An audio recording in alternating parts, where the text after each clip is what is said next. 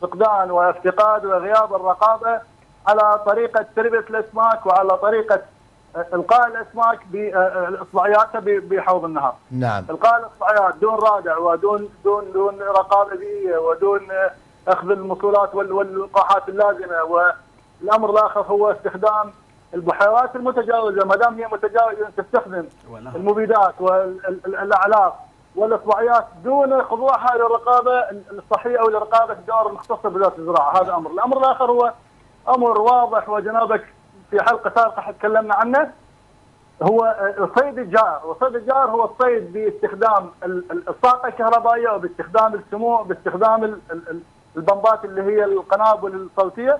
وهذا الأمر يعني آه، آه، ظاهرة عجيبة نعم. غريبة. بيئة الأسماك العراقية بيئة حوض النهر بيئة مناسبة لمختلف أنواع الأسماك. على امتداد نهر الجوفاء وصين العرب لكن التعامل بالصيد الجائر هو أيضا يرتقي إلى مستوى الجريمة ضد الثروة السمكية.